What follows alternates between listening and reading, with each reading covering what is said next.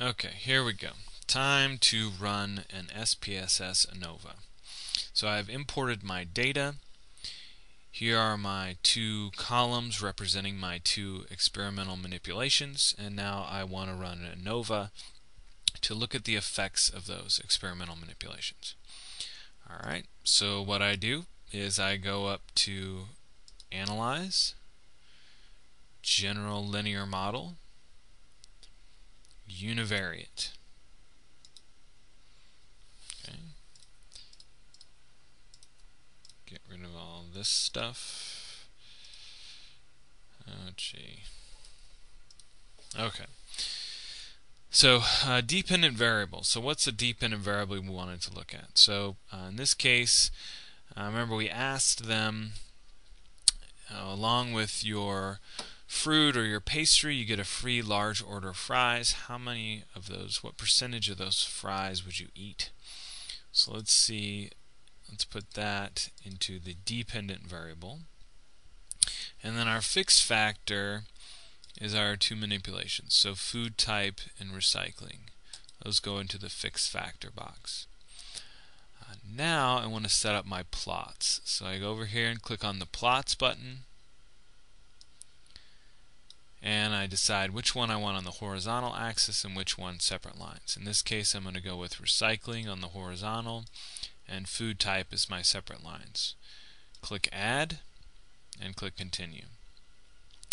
Now if I have a covariate that I want to throw in there uh, it would go in this space right here. So um, I do happen to have a measure of happiness in here so maybe we'll throw that in as a covariate. So controlling for people's overall happiness, what are the effects of food type and recycling?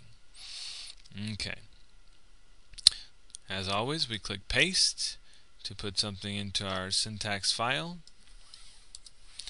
Here's our code. Right click, run current.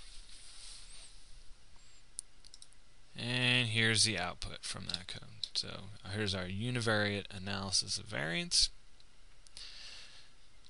So what it looks like is that if I'm ordering fruit, I always eat about oh 77% of my fries. But if I'm ordering pastry and there is no recycling available, then I'm less likely to eat fries than if I'm ordering pastry and recycling is available. So, um, looks like we have an interaction where something is happening on the pastry side. So we would go up to our output to see if that's the case. And we look here and we see food type star recycling, which is our interaction term. We'd see the significance is 0.485. So we know that's not a significant interaction, not even close. Uh, of course, we are dealing with cell sizes in this case of between 6 and 7. And as you know, for a standard experiment, a medium effect size, we would be looking more along the lines of 30 people per cell in order to demonstrate that effect. And this is arguably a bit subtle, so we might want to go for more than that. So, not entirely surprising that we don't have significant results. And so we don't. Okay, was there a main effect of recycling?